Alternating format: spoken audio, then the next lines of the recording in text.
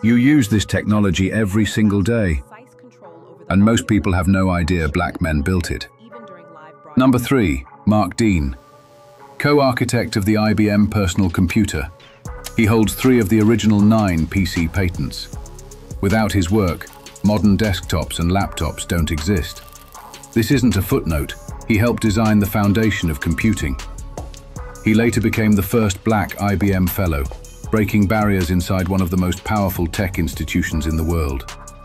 Number two, Lonnie Johnson. NASA engineer who invented the Super Soaker. That toy generated hundreds of millions of dollars. He reinvested that money into advanced batteries and clean energy systems. Entertainment funded innovation. His inventions proved black creativity could fund scientific progress at the highest levels. Number one, James West, co-inventor of the electret microphone. Over 90% of microphones on Earth use his technology. Phones, laptops, headphones, recording studios.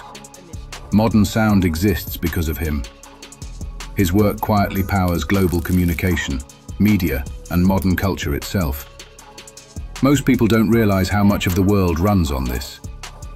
Follow for more untold stories. This journey is just beginning.